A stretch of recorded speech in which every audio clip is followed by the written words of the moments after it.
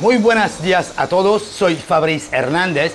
Estamos aquí para que usted entienda y voy a explicar paso por paso el tema de la oferta que habemos recibido de Terra. Habemos recibido una oferta con una Proxiform. Usted debe saber primero qué es una Proxiform.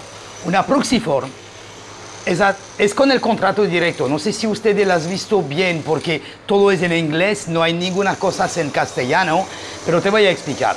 Cuando tú firmas un Proxiform, tú dan la autorización, tu dueño mismo, a la asociación de hacer tu decisión, de tomar tu decisión. Entonces, eso es muy importante, señores. ¿Qué quiere decir? Quiere decir que al momento que usted ha firmado este proxy form, no, es, no puede estar, usted no es el jefe, para estar simple. Usted no es el jefe, es la asociación que es el jefe y que toma la decisión tuyo. Además, dice este contrato, este proxy form, perdona, primera etapa, usted firma el contrato. Segunda etapa, hay una reunión que está puesto a la oferta el lunes 12 de junio de 2023 a las 7. Estamos de acuerdo todos que el precio de venta es de 770 mil con 500 dólares para los estudios, que se va con el porcentaje por las otras unidades del edificio. Vamos adelante. ¿Cómo se pasa? Primera cosa, ustedes firman el contrato con la Prociform. Segunda cosa, tenemos el meeting el lunes 12 de junio a las 7. La asociación se va a explicar que el developer, el contratista, quiere poner a la ciudad la autorización de la demolición del edificio para ver si se puede, si no se puede, lo que sea. Ustedes y nosotros no podemos tomar la decisión. ¿Por qué? Porque cuando el contrato está firmado, es la asociación que va a dar la autorización a este meeting para ustedes. Esta es la primera cosa. La segunda cosa, el developer pone 2.5% sobre 770 mil, digamos aproximadamente, son 19 mil, casi 20 mil. 2.5% del capital en escrow, en una cuenta privada de abogado, compañía de título o de lo que sea. Esto perfecto, se vamos de, de camino con un contrato ejecutivo. Tercera cosa, ustedes están abajo contrato, no se puede hacer otra cosa, vender el departamento con otra persona. Se puede alquilarlo todavía hasta que le decide casi casi el developer. Vamos de camino. Junio 2024.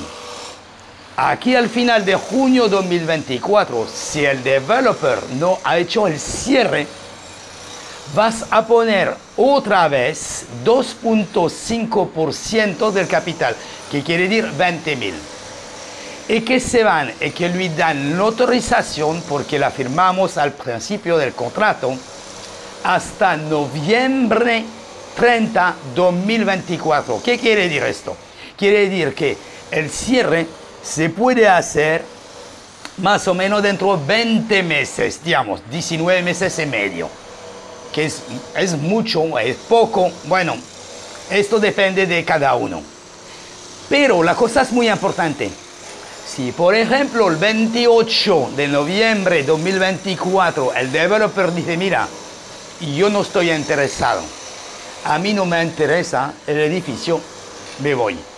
Se quita del contrato y no hay ninguna penalidad. Otro tema que el, eh, que el contratista ha puesto a la oferta.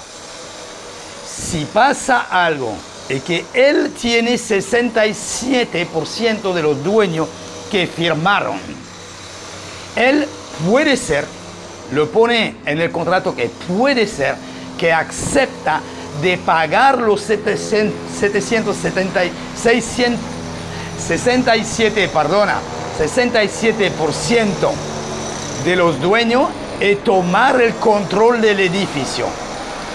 ¿Qué quiere decir tomar el control del edificio? No hay mucha manera, ustedes lo saben. Dar la dura vida a lo que queda del resto de los dueños. ¿Por qué? Porque la ley normalmente de los condominios para comprar un edificio entero hace falta que el 95% de los dueños estás de acuerdo. Yo voy un poco atrás para que usted entiende. Cuando ellos al meeting del 12 de junio de 2023, que las personas que has firmado el contrato, que la asociación se va a tomar la decisión para ustedes, esto no quiere decir que ellos tienen el derecho de demolir el building. No. Falta que ustedes entienden mucho que dan la autorización a la asociación de votar para ustedes. Entonces casi casi esta decisión que se va a terminar va a estar para el nombre de firma que va a estar.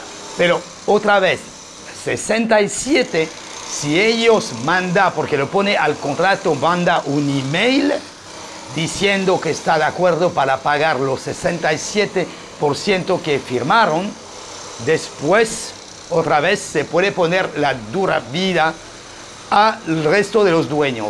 Pero también que es muy importante que ustedes deben saber, de posar un permiso al principio para saber, para demolir el, el edificio, casi casi esto no hay mucho sentido, porque primero, este, el developer no quiere tomar riesgo, que si la ciudad le rechaza de demolir este edificio. Esto es mi opinión, pero bueno, aquí cada uno se puede tener la suya. Hay camino que se debe respetar. El developer ha decidido de hacerlo de esta manera. Al final, si la venta se hace, ustedes falta saber que el developer compra con una compañía extranjera situado en el Delaware. Entonces, ¿qué pasa? Ustedes se van a estar a la fiesta. Vamos todos a estar acá, subido a la fiesta. ¿Qué es la fiesta? Yo lo he dicho en bastante video. Ves en mi YouTube, en mi canal de YouTube, clic en subscribe, clic en uh, suscripción. Es completamente gratis, te vas a ver la video. Y también tenemos, si ustedes quieren no pagar impuestos, porque vamos a tener impuestos sobre la ganancia, por supuesto, que eso es completamente normal, porque cada venta que ganamos dinero hay un problema de fiesta y hay un problema de 1031. Bueno, no son el problema, el 1031 es una ventaja.